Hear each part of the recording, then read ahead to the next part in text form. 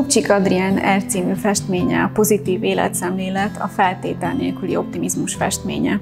Kupcsik ehhez a 2004-ben festett parafrázishoz a magyar művészettörténetből választott előképet. Színyei Merse Pál Pacsirta című festménye adta tehát ennek a parafrázisnak az alapját. Színyeihez hasonlóan átvette a mesztelen nő alakját, azonban mesztelenségét még erősebbé fokozta azzal, hogy környezetében ruhás, felöltözött alakokat látunk. Ezek az alakok azonban nem a mesztelen nőre néznek, tekintetük tárgya sokkal inkább az a műrepülőgép, amely színei pacsitájának helyét átvette. A kompozíció színeihez hasonlóan szintén az ég uralja. Ezzel a motivikus átvétellel és színezetbeli hasonlósággal a pacsírta egy 21. századi parafrázisnak is méltó előképévé válhatott.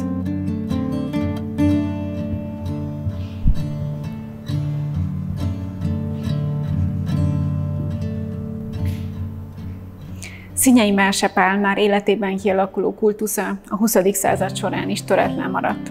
Mi sem bizonyítja ezt jobban, mint a festő halála utáni száz évben keletkezett omázsok, parafrázisok, idézetek, sőt bélyegek, képeslapok, plakátok és egyéb sokszorosított termékek, amelyek az ő műveit használják fel. Kiállításunk utolsó termében ezekre a kortás reflexiókra világítunk rá, ezekben mutatunk egy szűkebb válogatást.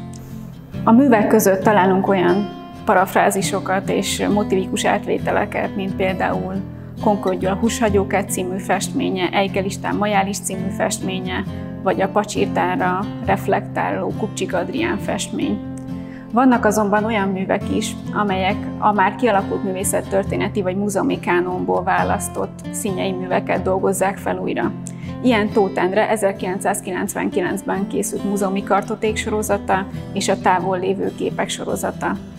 Ehhez hasonló Bernát Aurél szekkója is. A művet vetítésben mutatjuk be, ugyanis a szekkó a Magyar Tudományos Akadémia Régészeti Intézete számára készült.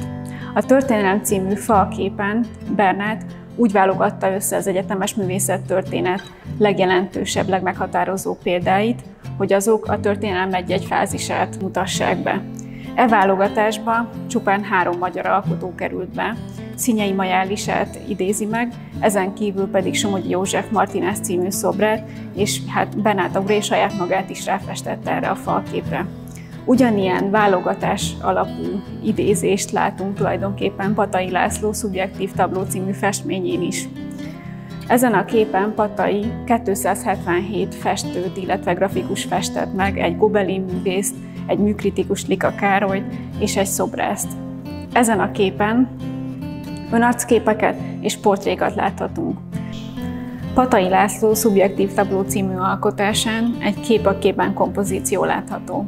A festmény középpontjában ugyanis egy festett vászon, illetve egy azt keretező képkeret látható. Ennek középpontjában pedig Színyei Másepál 1880-as arcképét festette meg Patai. További motivikus átvétel Szabó Ábel hóolvadásra reflektáló Útépítés az Alföldön című festménye.